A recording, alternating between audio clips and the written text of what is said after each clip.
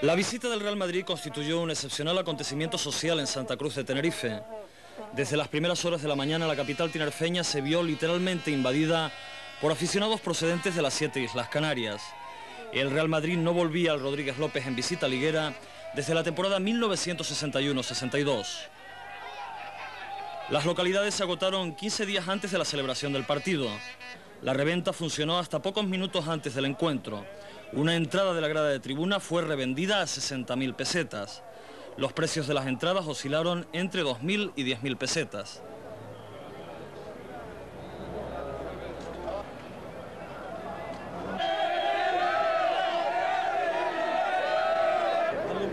ADEMI, Asociación de Minusválidos, acudió al partido.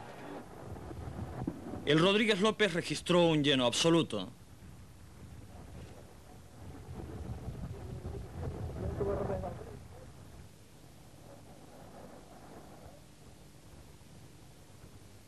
Unos 24.000 espectadores presenciaron el partido y dejaron en taquilla 70 millones de pesetas. El Real Madrid fue recibido con una cerrada ovación.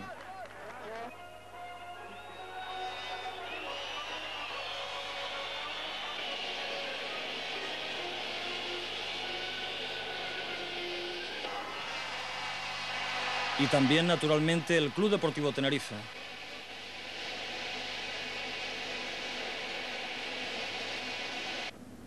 Las calles de Santa Cruz, iniciado el partido, estaban desiertas.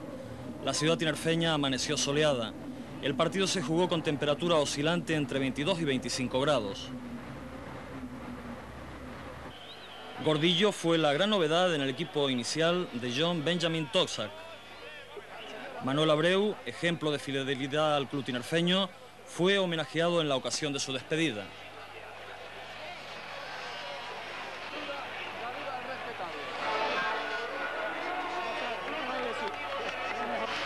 Y la campeona de Europa de gimnasia rítmica, la tinerfeña Ana Bautista, realizó el saque de honor. El Real Madrid acosó al Tenerife en los primeros minutos. El primer disparo a puerta fue de Mitchell. El Tenerife, crecido con la presión ambiental, hilvanó algunas jugadas curiosas, con rever desdoblado en funciones ofensivas. Después de esta acción que vamos a ver de Luis Delgado ante Ruggeri en el minuto 5, el colegiado del partido, el murciano Pérez Sánchez, advirtió de amonestación al jugador tinerfeño. Mientras el argentino fue atendido por su masajista, un aficionado soltó un gallo. Felipe fue uno de los atacantes más incisivos del Tenerife. Su centro va para Rommel y el remate final es de Luis. El Panzer, vigilado estrechamente por Sanchis y Ruggeri, estaba descolocado.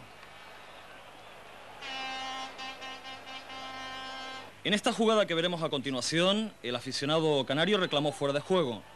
El centro es de Martín Vázquez y el remate de Hugo Sánchez. Observen la posición del mexicano en el momento del pase.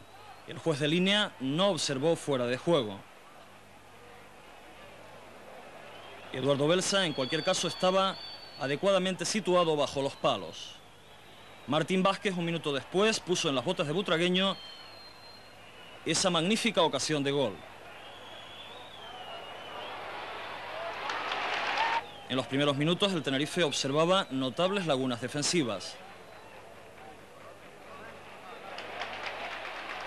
En el minuto 15 el pase de Felipe fue rematado en acto característico de Rommel Fernández. Ven la jugada repetida.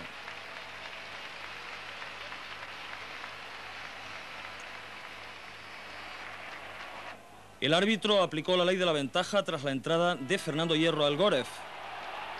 Luis Delgado intentó sorprender a Bullo. El meta madridista estuvo especialmente atento a los remates de Romer. Belsa salió a los pies de Hugo Sánchez en esta acción. Era el minuto 24. Mientras algunos aficionados intentaron entrar al campo sin localidad.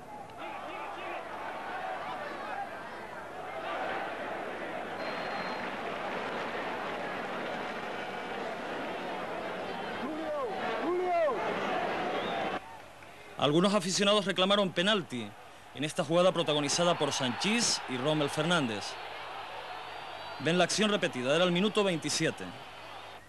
El Tenerife crecido soportaba estoicamente la contraofensiva madridista.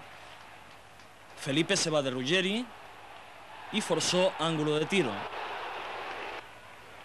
Martín Vázquez reclamó manos de Guina en esta jugada. Vean la acción repetida. Felipe, sensacional, es el autor de este centro para el Gorez.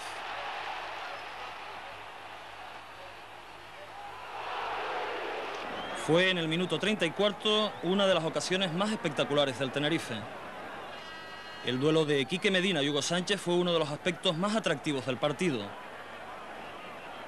Isidro, en cambio, se ocupó del marcaje de Butragueño. Los hermanos Hierro fueron rivales. El tinerfeño, Manolo, vio tarjeta amarilla por esta entrada a Fernando. Schuster sacó la falta para Gordillo y Belsa, muy seguro, rechazó. El Real Madrid obtuvo su primer gol en el minuto 46, tiempo de descuento. Mitchell dio el pase a Butragueño, autor del tanto. Ven el pase de Mitchell y el gol de Emilio Butragueño. Esta es otra perspectiva del primer gol del partido. Cuando el 0-1 parecía parcial sentencia de la primera parte, el Tenerife consiguió el empate, se sacó de centro y en la jugada intervienen Guina, Rommel de cabeza, Felipe y Luis Delgado, autor del gol. En el momento del tanto, una cámara de televisión española seguía la reacción del banquillo tinerfeño. Así se celebró el gol.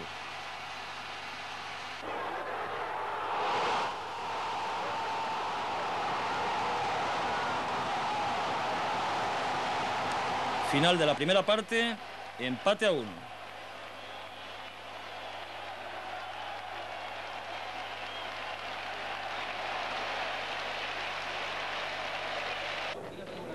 Los jugadores volvieron al campo con objetivos distintos. El Real Madrid parecía amenazado por el valor psicológico del tanto del Tenerife. Reanudada la segunda parte, a los 50 segundos, el Rodríguez López fue marco de una explosión popular. El Tenerife obtuvo su segundo gol. Centro de Luis Delgado y remate impecable de Guina. Era el 2 a 1. 50 segundos, segunda parte. Schuster no pudo evitar el remate del brasileño. Es Luis Delgado, el centro, y el remate del capitán del Tenerife. Un tanto, obviamente, muy festejado. Dos minutos después, Felipe fue protagonista de esta nueva ocasión. El autor del despeje es Sanchís.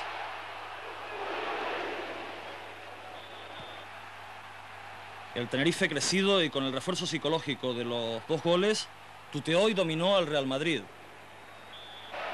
El colegiado Pérez Sánchez anuló este gol a Toño por supuesta fuera de juego. Vean la posición del tinerfeño en el momento del pase. Congelaremos el plano. Ahí está. En el minuto 8 Butragueño recibió este pase y quedó con poco ángulo de tiro ante Belsa. El lanzamiento del ariete madridista fue al larguero. Tendrán ocasión de ver esta otra perspectiva de la jugada. En el minuto 5 de esta segunda parte, Julio Llorente sustituyó a Bert Schuster. Fue la reacción estratégica de John Benjamin Tosak. El Real Madrid no encontraba la fórmula para sujetar a Felipe. Julio Llorente se empleó con estos modos ante el atacante tinerfeño. Tras la falta de Luis Delgado, Toño puso a prueba a Bullo. En el minuto 14, Tosak sentó a Mitchell y puso en escena a Losada. El Real Madrid, desarbolado en esos momentos por el planteamiento de Miera y por el Tenerife, lo intentó a balón parado. Presten atención a esta jugada, minuto 24 de esta segunda parte. Contraataque tinerfeño, el Goref y Felipe cae ante Ruggeri. Vean la jugada ralentizada. El señor Pérez Sánchez no señaló nada. Tienen otra perspectiva del acto. El público exteriorizó su protesta con flamear de pañuelos. Aquí hay posibles manos de Julio Llorente ante Rommel Fernández. Otra jugada conflictiva. Caerá Butragueño en el área defendida por el Tenerife. Ante Revert.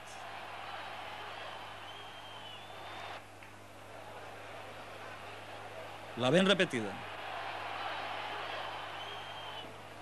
En el minuto 30 de esta segunda mitad empató el Real Madrid por mediación de Hugo Sánchez. Faltaban 15 minutos para el final del partido. Y en esta otra jugada el Real Madrid consiguió el gol de la victoria. Fue un grave error defensivo del Tenerife y Hugo Sánchez, atento, estableció el definitivo 2 a 3. Victoria del Real Madrid en el Rodríguez López de Santa Cruz de Tenerife.